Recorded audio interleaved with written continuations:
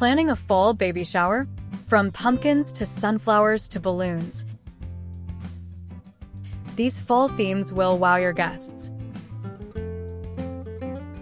How about a baby shower in one of the warm colors of autumn and hot days from summer? Get some inspiration from the ideas in this video.